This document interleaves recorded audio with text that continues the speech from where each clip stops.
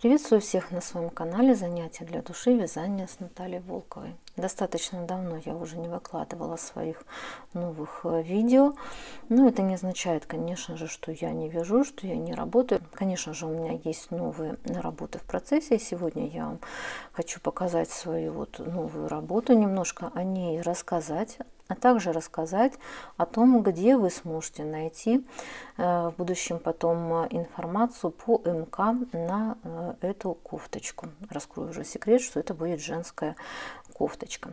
Итак, вот у меня уже связан, получается, один рукав и таким вот образом он у меня выглядит. И как вы видите, достаточно интересный и э, красивый узор на этом рукаве. Узор я не могу сказать, что он прям очень сложный. Он, скорее всего, что средней сложности. Самое главное это понять э, принцип э, работы. И тогда я думаю, что в принципе сложностей никаких не будет.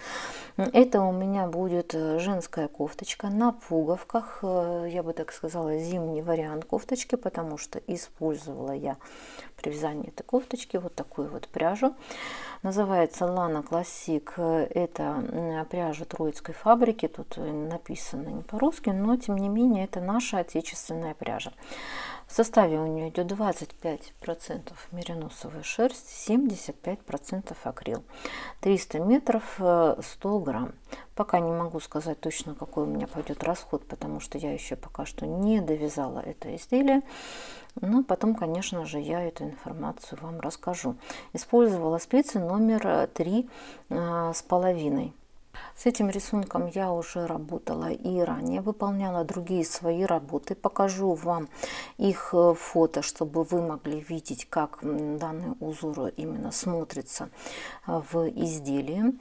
Значит, со своей стороны хочу сказать, что я на данную кофточку планирую подготовить МК.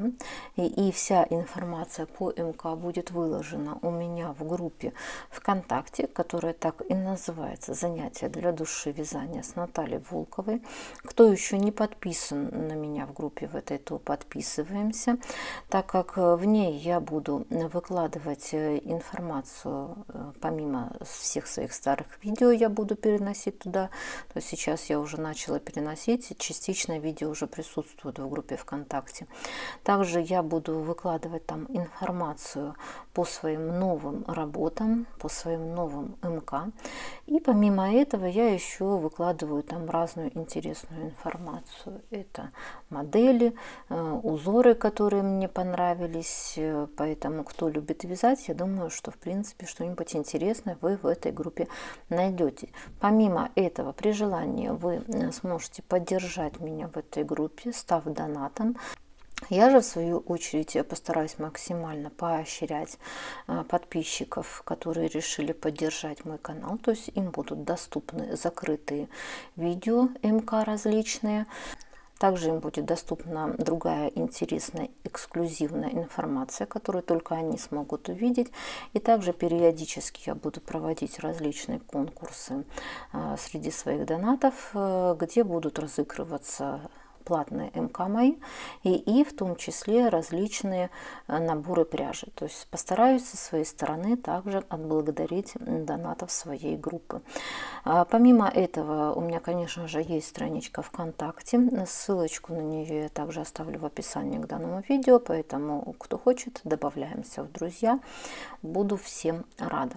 Итак, теперь непосредственно о моей новой работе. Как я уже сказала, это будет у меня а, женская кофточка э, на пуговках, э, связанная в виде жакета. То есть я решила не делать по низу резиночку, не утягивать. То есть просто будет жакет э, прямого покроя, я бы так сказала.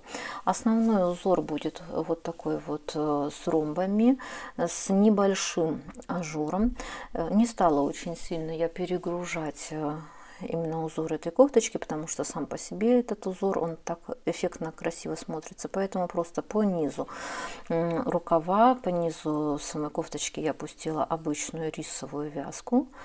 И далее вот у меня уже идет э, основной узор, это у меня связан рукав То есть, как вы видите, рукав у меня будет вточной. То есть, вот уже он здесь полностью у меня а, связан. И в процессе работы у меня сейчас как раз э, перед со спинкой. Вот я его вяжу. Также по низу идет э, рисовая вязка, которая будет э, на планочке у меня. Перед со спинкой будут без боковых швов. То есть я вяжу все целиком. Вот Таким вот образом у меня все это выглядит. И я уже довязала, в принципе, до линии проймы. Начинаю делать э, вырез. То есть вот здесь вот у меня все это видно. То есть процесс работы идет. Я планирую в ближайшее время, в принципе, уже доделать, довязать эту кофточку. Значит, э, спереди у меня будут э, пуговки. То есть вот дырочки я уже сделала. Кто-то любит дырочки, которые начинают с самого начала кофточки. Но я больше все-таки люблю дырочки, которые сверху уже пуговки идут, чтобы не подтягивало ничего внизу. Пуговки пока на данный момент я выбрала себе вот такие вот. Не знаю, буду ли я такие контрастные пуговки именно пришивать. Э, пока сомнения, поэтому вот пока такие я себе взяла. Но, возможно, я их и поменяю. То есть это уже, конечно же, потом, после выполнения работы, лучше будет посмотреть, а, что будет лучше смотреться. Поэтому, возможно, они будут и другие. Значит, э, узор, как я уже сказала, он не особо сложный, но с ним нужно ознакомиться. На данный узор у меня подготовлен очень подробный видео МК в котором я провязываю каждый ряд узора. И, данный видео МК уже доступен в бесплатном формате для донатов моей группы. Поэтому они уже могут его посмотреть при желании, ознакомиться с этим узором. Ну и вы также, в принципе, э, сможете его посмотреть, если будете э, моим донатом. Итак, э, в ближайшее время я постараюсь ее уже, эту кофточку, довязать, подготовлю э, МК и выложу всю информацию в группе ВКонтакте на своей странице. Ну и также дополнительно, конечно же, покажу вам, э, что у меня получилось э, именно на своем канале. Выложу фото. Поэтому, кому интересны мои работы, то а, обязательно подписываемся на мой канал. Не забываем, что у меня уже очень много различных видео МК, а, фото своих работ и фото МК я покажу в конце этого видео. Все эти видео МК доступны у меня в бесплатном э, формате на моем канале, поэтому добавляемся, смотрим.